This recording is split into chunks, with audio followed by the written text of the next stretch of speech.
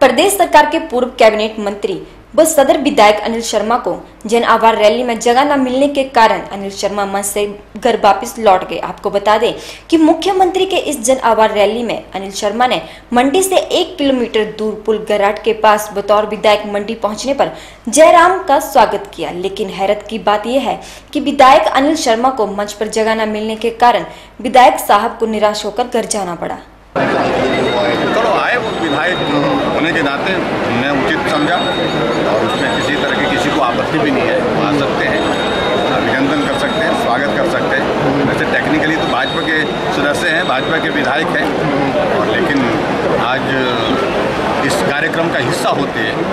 लेकिन कैलकुलेशन अपने अपने हिसाब से होते हैं, उसमें मैं ज़्यादा कुछ कहना नहीं चाहता हूँ। लेकिन फिर भी उसके बावजूद भी हम हिमाचल के विकास के लिए काम करेंगे, कि हम मंडी क्षेत्र की भी अगर बात आएगी उसमें भी विकास में पूरा सहयोग देंगे हमारी बात नहीं बात नहीं नमस्कार भैया तो अभी आगे क्या निर्णय आपने लिया? आगे की बातें आगे होगी।